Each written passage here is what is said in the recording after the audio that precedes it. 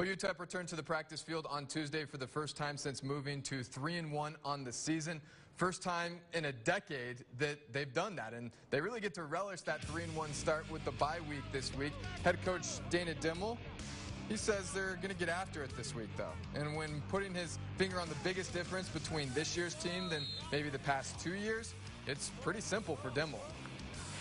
You guys are gaining confidence from getting victories, you know, and, and that's the key always when you're trying to turn a, a program is that the guys getting that taste of playing foot winning football and so that was that's been a big part of what's been going on and then all of a sudden they start to really play together on all three units Conference play is up next October 10th. They will visit La Tech.